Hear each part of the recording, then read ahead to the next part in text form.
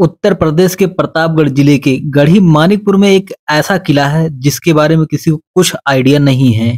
तो आइए आज हम इस रहस्यमय किले के बारे में आपको दिखाते हैं। उत्तर प्रदेश में जब भी नाम आता है शहरीकरण का तो एक नाम ज़रूर आता है गढ़ी मानिकपुर।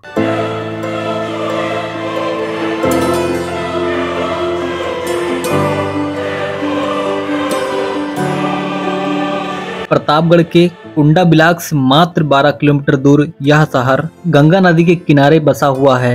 इतिहासों में मानिकपुर का नाम एक आम भूमिका रहा है। आज़ादी से पहले अठारह सौ बयासी में बनी यह टाउनशिप एरिया मानिकपुर का नाम मानिकपुर के राजा मानिक चंद्र के नाम से पड़ा हुआ है। राजा मानिक चंद्र का किला मानिकपुर के शाहबाद में स्थित गंगा नदी के किनारे खंडहर अभी भी आपको मिल जाएगा।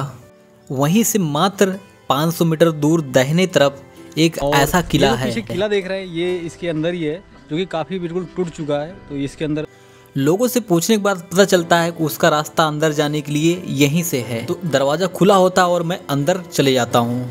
अंदर मुझे कार और पपीते की खेती दिखाई देती है।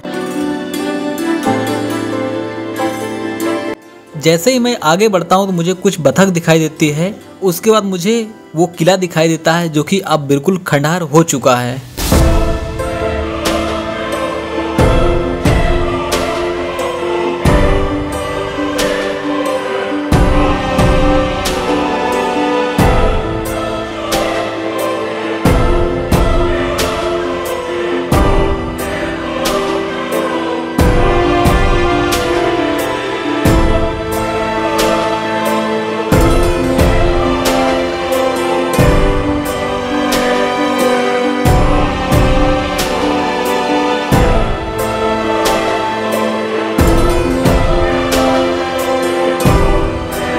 और वहाँ से मानिकपुर को बहुत ही प्यारा, खूबसूरत नज़ारा दिखाई देता है।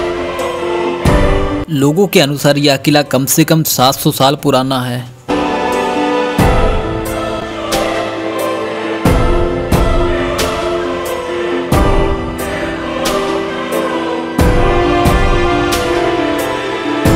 काफ़ी लोगों से पूछने के बाद और गूगल पे सर्च करने के बाद भी इसकी जानकारी पूरी तरीके से नहीं मिल पाई।